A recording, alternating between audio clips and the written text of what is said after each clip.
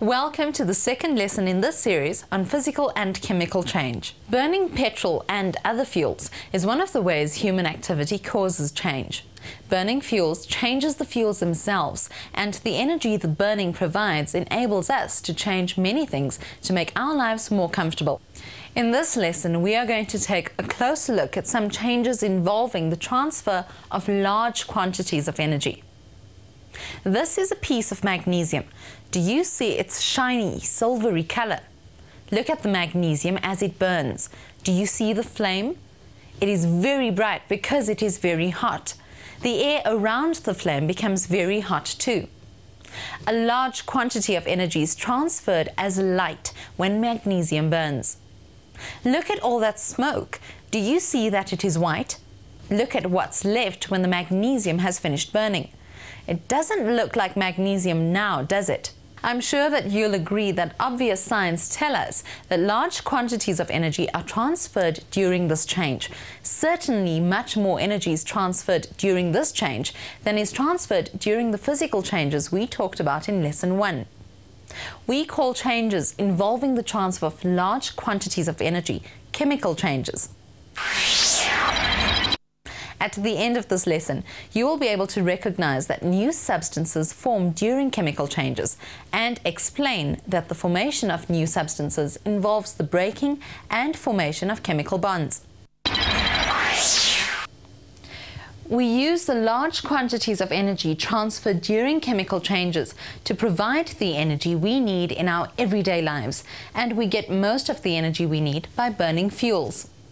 Most of the fuels we use contain compounds called hydrocarbons. Hydrocarbons are compounds that are made up of different combinations of only carbon and hydrogen atoms.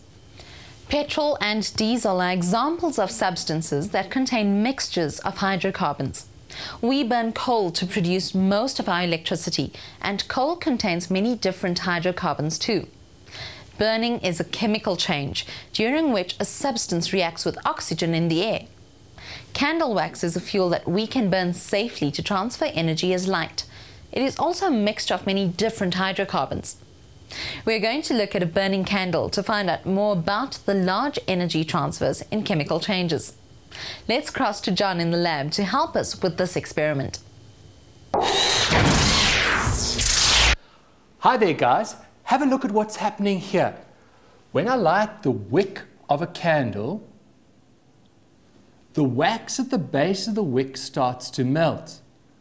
The liquid wax creeps up the wick and reacts with the oxygen in the air on the surface of the candle. Here I have a cool, dry glass beaker. I'm going to lower it over the candle. Watch and see what happens.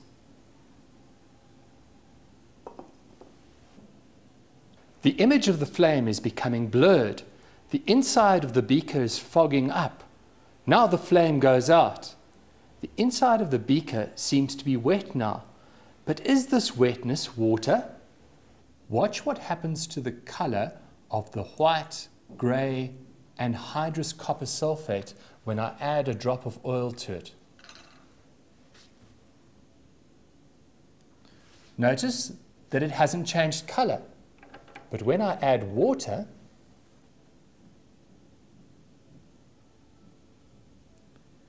look, it goes blue. Water is the only substance that will turn anhydrous copper sulfate from its grey-white color to blue.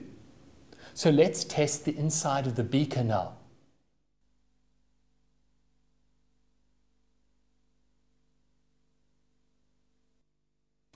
Look, the white anhydrous copper sulfate turned blue. This means that water must have formed when the candle wax reacted with the oxygen in the air. But where did the water come from? Well, we know that water is a compound of hydrogen and oxygen. We represent its molecules as H2O. The hydrogen atoms and the oxygen atoms in the water molecules cannot be created during burning because reactions such as this do not make atoms. The hydrogen in the water molecules must come from the hydrocarbon molecules in the candle wax. The oxygen in the water molecules must come from the oxygen in the air. What about the carbon atoms in the hydrocarbons of the candle wax? Where do they go to? They can't disappear. When the candle burns, we see only water. So any other product that forms must be invisible. It must be a gas, and this gas must contain the carbon from the hydrocarbon in the wax. Do you know a gas that contains carbon atoms in its molecules? That's right, carbon dioxide. We know that a candle won't burn in carbon dioxide. Perhaps that's why the candle flame went out earlier. Lime water turns milky when you bubble carbon dioxide through it. So let's watch as John tests the air around the candle to see if our hypothesis is true. Do you see that the lime water goes milky? This tells us that the gas carbon dioxide forms when the hydrocarbons in candle wax burn in oxygen. Burning changes candle wax into two new substances. We can show this using this word equation. Hydrocarbon in candle wax plus oxygen from the air gives water plus carbon dioxide. When candle wax burns, hydrocarbon molecules break up or decompose. Their atoms are rearranged to form completely different, simpler molecules. So, from our macroscopic observations of a chemical change, we can conclude that a chemical change that happens when any hydrocarbon fuel burns forms new substances, water and carbon dioxide, and involves the transfer of a large quantity of energy, a flame. This chemical change is very different from the physical changes we learnt about in Lesson 1. During physical changes, molecules stay the same, only their positions relative to each other change. In other words, they either move closer together or they move further apart. Next, we will take a microscopic look at our experiment to find out more about this chemical change.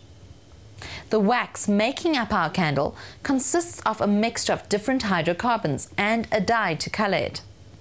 The chemical formula of one of the hydrocarbons in the candle may be C19H40.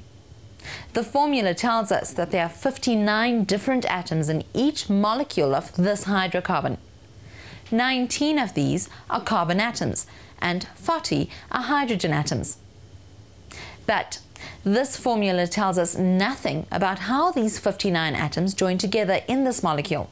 Just like knowing that there are 27 bones in the human hand gives us no idea as to how the palm, five different fingers, and wrist all join together. A structural formula gives us this extra information. This is the structural formula for a C19H40 molecule. It shows that the 19 carbon atoms are joined end to end to form a chain. The hydrogen atoms are not joined to each other, but rather each is joined to a carbon atom. What is the glue that sticks these 59 atoms together? What keeps these 59 atoms from going their own way? Chemists call the glue keeping two atoms together in a molecule a chemical bond. Glue is a substance, but a chemical bond has no substance.